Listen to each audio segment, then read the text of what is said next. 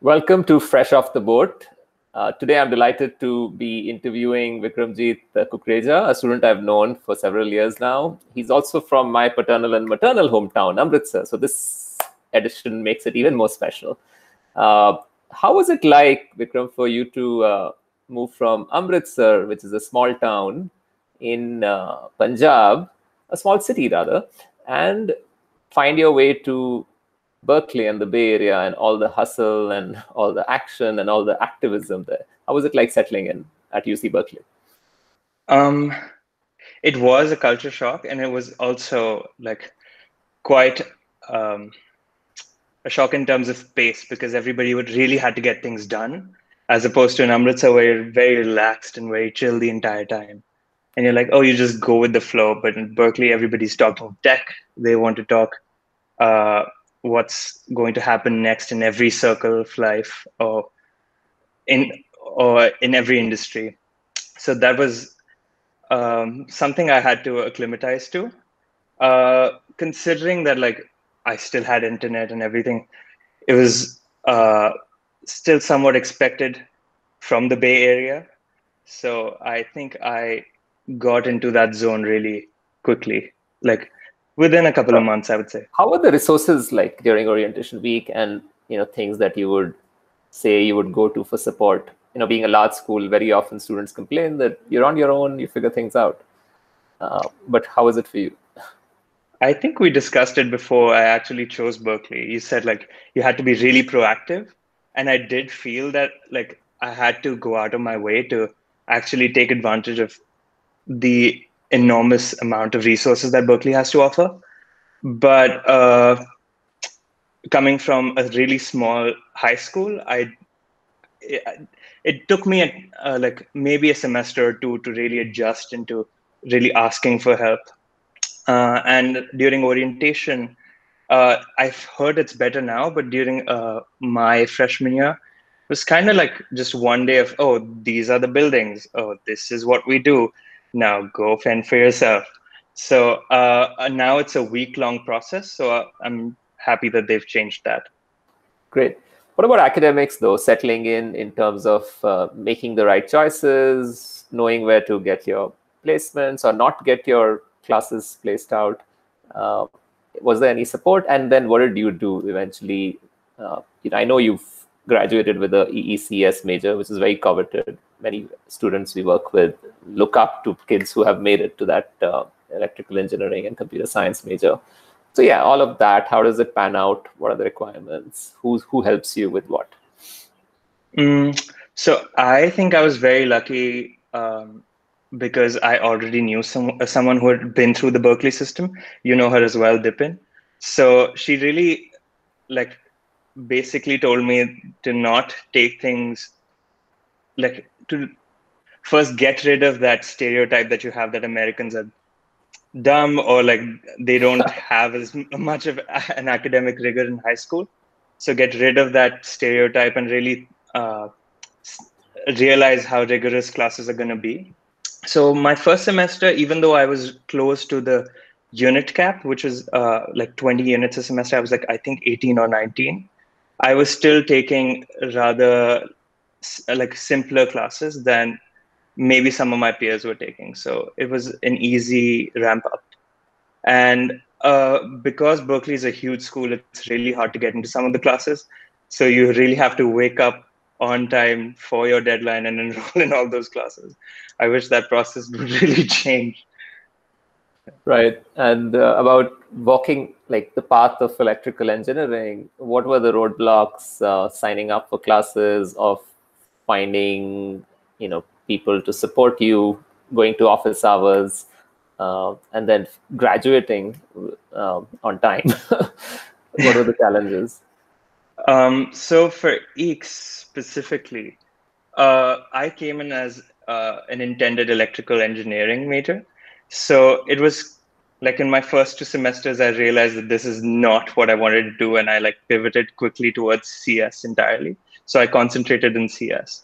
So uh, a huge uh, part of that was like talking to uh, different students who were in a similar situation as I was. And I think that's one of the advantages that comes uh, with being in a big school, you have such a huge pool of people who've been through all sorts of situations that you can actually, if you choose to reach out to them, they'll really help. Uh, as as for classes, I think if you're, I, I know there's a difference if you come in as intended CS, which is in the letters and sciences school, uh, you do have a hard time getting into classes. But if you're an EECS student and you want to get into EECS classes, you have like a particular number of seats that are booked out for you.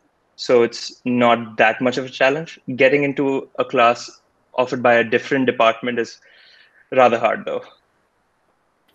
Right. So which are the classes in computer science which really challenged you and also gave you sort of future direction in terms of your internships or things that you did on campus for research and then finally your job? So uh, as most people do nowadays, I concentrated in machine learning. So most of my classes were probability, optimization, and like MLAI related. And I think those were the classes I enjoyed the most, except uh, probability. I would say that was the hardest class I ever took. And uh, it was a really small class uh, with really brilliant people, as all classes are. Uh, so I was, I constantly felt that I had to go to office hours, which I hadn't for a long time in my life. Like I was, I didn't consider office hours to be that important until I took this class where I really had to go out of my way to uh, really understand some concepts that weren't as clear in the lectures because once you're in a group full of really brilliant students, uh, the professor like tends to be like, oh, let's just go past this, you know this, you know that. Uh, as for the other classes, uh, like my intro to machine learning course was uh, taught by this brilliant professor who uh, is actually researching geometry of something in geometries. I'm not entirely sure what his research thing is. So he had a really interesting perspective on machine learning, and then like just uh, looking at the concepts from his uh, point of view was really interesting to me. I'm not sure if I answered your question. I kind yeah, of like no, absolutely, absolutely. I think very well, very well said. I think we've got a fairly good idea of how the EECS major works and you know your path. Uh, but tell me something. There are obviously uh, many other courses and areas of uh, knowledge being sort of distributed through fantastic professors at Berkeley. Uh, which was your non-STEM class which you really uh, enjoyed and look up to the professor and what you learned? Um, hmm, non-STEM. I um, really enjoyed my South Asian uh, sort of religion uh, in modern India course. Uh, so the professor was Indian, uh, and she really uh, focused on giving the Indian perspective on things. So uh, a lot of times, I've, I've obviously not taken a lot of South Asian courses here, but like a lot of times, I've heard people say that when sort of a person from uh, a person who's not from the subcontinent is teaching the course they have like a very different outsider perspective of it so i think getting that insider perspective and also like some sort of a lens on uh, from the outside on religions in modern india really opened up my eyes so it's a very important and, topic given you know polarization in the world and in mm-hmm. uh, the subcontinent uh, what is it that you feel you learned from that class Oh, so much. Uh, I did not really know how Hinduism came about and how it was a British concept, and like, uh, and uh, how really the Hindu-Muslim divide or stuff like that really originated. So just having that perspective, I think, really uh, brings in an appreciation of what India is today and really shows what it should be as well. Great. Uh, so kind of it took you to go half the way across the world to have pride in your like, uh, religious legacy or whatever. So uh, amazing. I think uh, that's what universities are for. It could be anywhere, uh, back home or anywhere else. And of course, in India now there are some new universities which are kind of uh, bridging those boundaries, getting fantastic professors and working in India with technology, all of this is absolutely possible. Uh, possible. There's Plaksha, the Ashoka, Kriya. These are three names I can think of. what do you think as uh, future of education should be? You know, because you've done obviously a STEM major, and now you've appreciated liberal arts and social sciences as well. Uh, where do you see the world of higher ed moving, given there's so much disruption, but also opportunity, given that hmm. colleges are shut and many other things might impact through because of social distancing? I've actually been thinking about this a lot myself. Um, me and a couple of friends, we always like think about new ideas, and uh, this is definitely uh, one of the things that we've discussed. I think, to me, like a shift to a newer way of learning online is really important because, like, considering the disruption COVID nineteen caused, it's it might happen over and over again, and I think universities and higher education institutions will want to become more resilient to these sort of disruptions. And like in my experience like anything that's online is not really uh, a good alternative to an in-person class. So like getting that balance right is i think key uh, okay. for anything that is promising.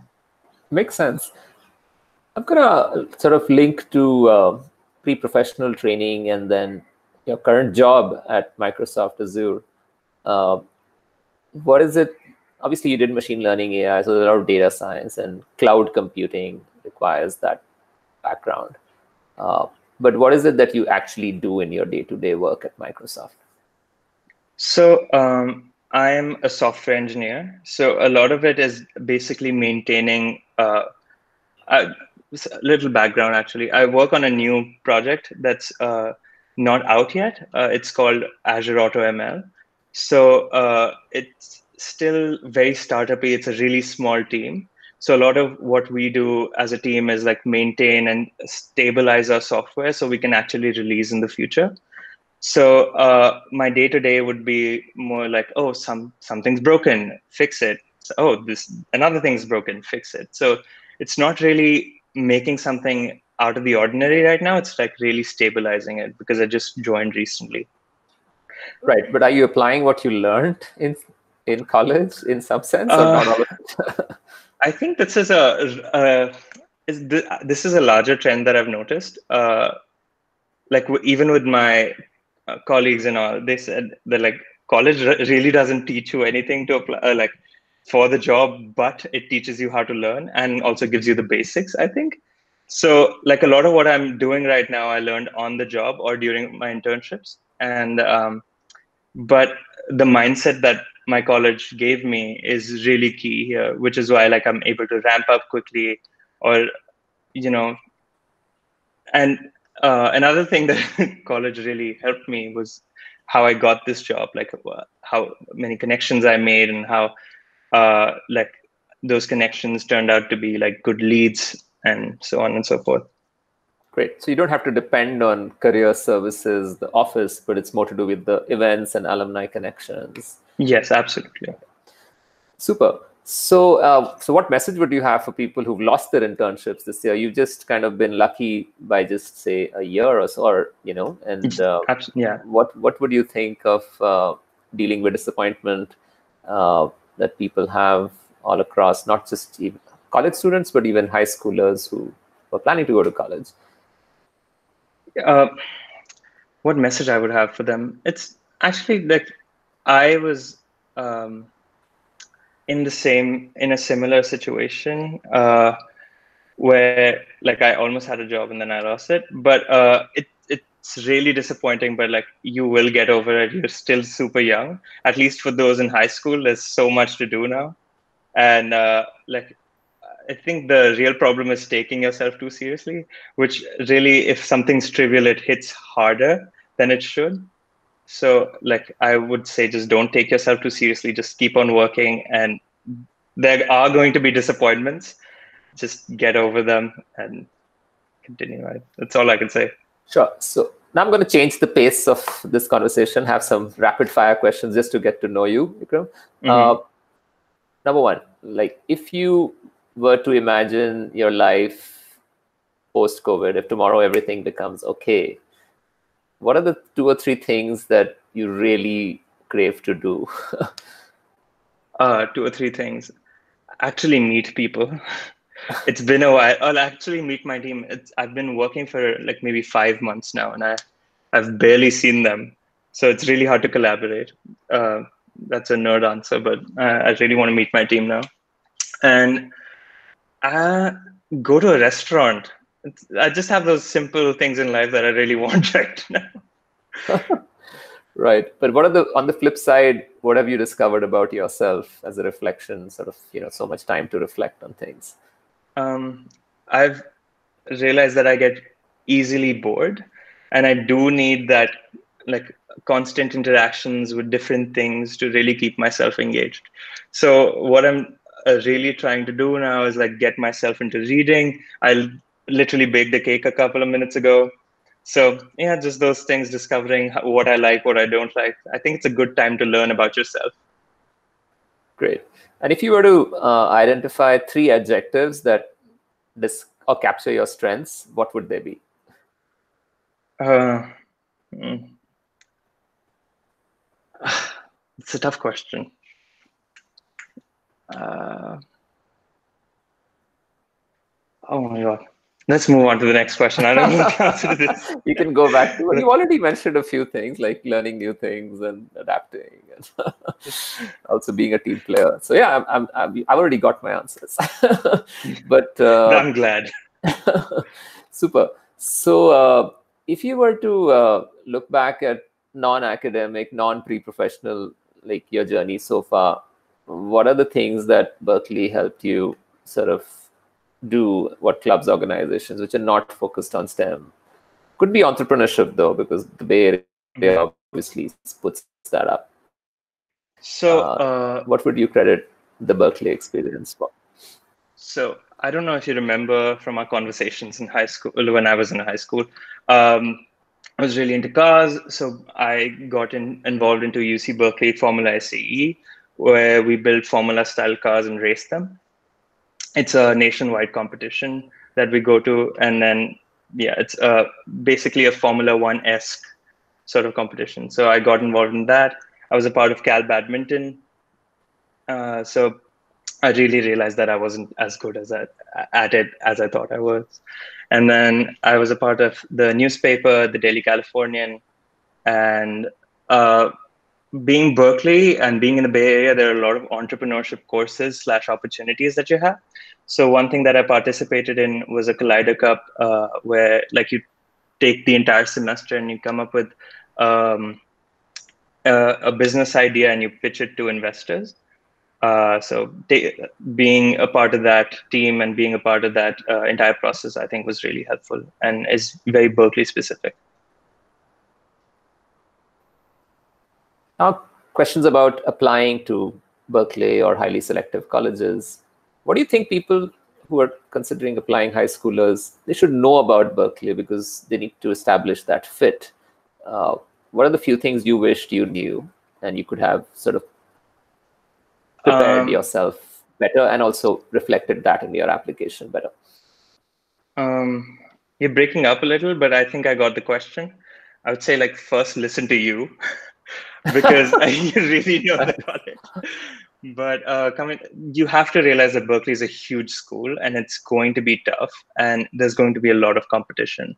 So if you're someone who, uh, someone who's like me and who's been like sort of used to uh, some hand holding into like getting into like the zone of studying or academic hand holding then uh, berkeley might not be the place for you but even if you need that you will find people to help you with it.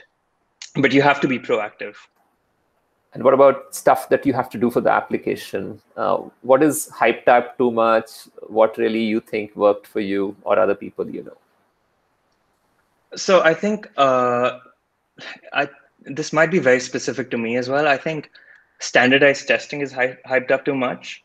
Berkeley is a, a obviously very academic focused, but they like from what I saw that uh, people who were successful in Berkeley as well might not have had the highest standardized test scores. Uh, so like if if you probably don't even have the highest scores that you think you need for Berkeley, you might be fine here as well if that makes sense. Yeah, sure. Fine. So let's uh, kind of uh, end with uh, something that you would want to uh, share about you, which not many people know. Uh, and in the last four five years, what are the mistakes, failures, learnings from those, or even embarrassing moments of high school and college that made you reflect on who you are and what you can be? Um, I think I know exactly what I want to talk about here. Uh, I think I've said it before already, but uh, coming from a small town, I thought like, oh, I'm so great, I'm so smart, I'm going to Berkeley, and like this entire process of me going to four years of college, I went from oh, I know a lot to oh, I don't know as as much to like I don't know anything. And so, like a good lesson that I had from Berkeley was to not take myself too seriously and to like take every opportunity that I have to learn rather than being like okay you know i know this like just have an open mind uh, really focus on what you can get out of your res- uh, the resources or people around you rather than showing off what you might be or what you might know. If, yeah. Thank you. Thank you for such a honest and genuine response uh, and it was uh, delightful to just reconnect with you and looking forward to inviting you to our panels in the future not just STEM related, but also uh, life advice or anything else that you would want to share. Uh, so thank you again, Vikram, and looking forward to uh, staying in touch. Yeah, thanks for having me. Be safe and uh, all the success to you in the future. See you.